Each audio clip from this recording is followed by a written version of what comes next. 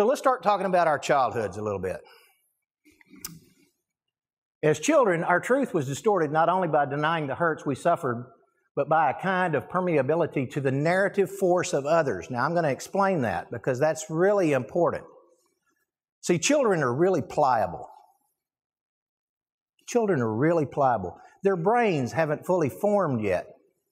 They're trying to figure out who all the people are and who, and who all the players are in this deal called a family. And, and who's the one that's in charge that's making all the rules? And how do they fit into my life? And who are these other kids that are running around? And they seem to be kind of bossing me around. And and so you know what's what's the deal here? Now you see when a child comes in and i've used this example uh, in this talk uh, or in the meadows lecture before when i was a young child and i fell off my bike and i skinned my knee and i was hurt and i was crying and I came in and I told my mother, and my mother says, You know, what's wrong? What's wrong? And I said, Well, I fell off my bike and I'm hurt. She would say, Let me look at that. And she'd look and she'd say, Oh, that doesn't hurt. And I'm thinking, Feels like it hurts. But here is this person that is supposed to love me and care for me more than anybody else in the entire world who is telling me that what I'm feeling is not reality. It is not reality. So I have to make up a whole nother story to make that work for me. Okay? Now, was it my, my mother's intent to deceive me?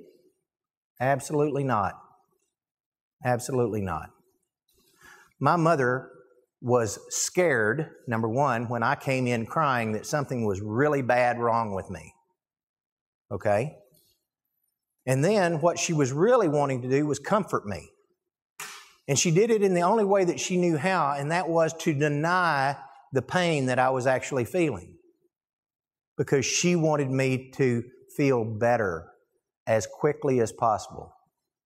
Now, you know, this is a, we do this all the time. I have a, a client who uh, has a 23 year old son uh, who she spent time with this week and uh, out of state.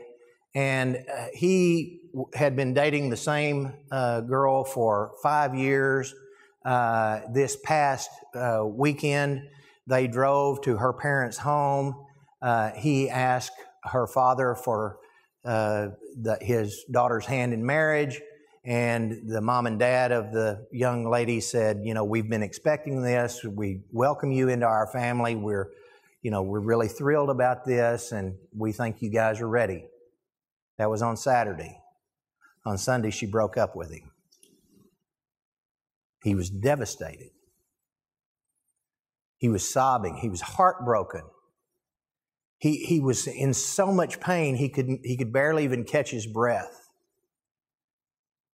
And so his mother says, I'm on my way. And so she went to, to be with him. And she said, You know, Kelly, the, the hardest thing in the world for me was to not say to him, you know, a year from now that you're not even going to remember this. You know, you're better off without her.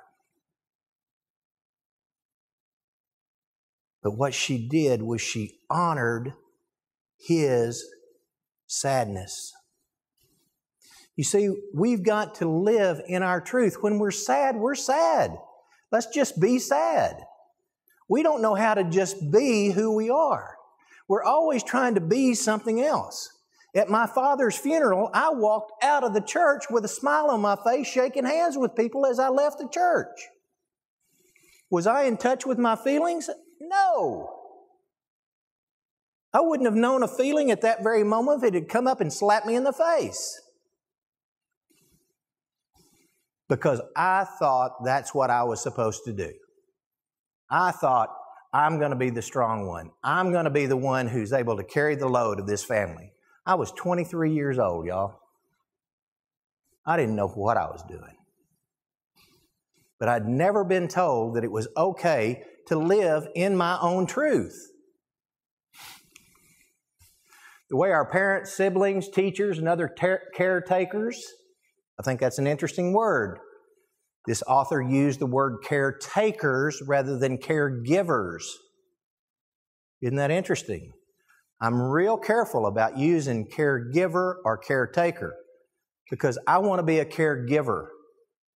If I'm dealing with my children or my grandchildren or my wife or anyone that I love, I want to be a caregiver. The way our other caretakers interpreted or spun the meaning of the events unfolding around us influenced the way we came to understand them.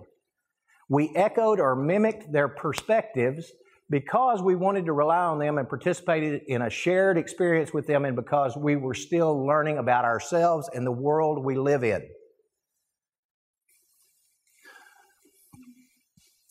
When when we are experiencing something for the very first time, I, or I, let me change that. When I am experiencing something for the very first time, a lot of times I will look for clues and cues from the people around me who've experienced it before to see how I'm supposed to be reacting. Because I want to fit in. I want to be a part of the group. I don't want to be left out in any form or fashion. Children are, are more susceptible to that than anybody because everything they're experiencing is for the first time.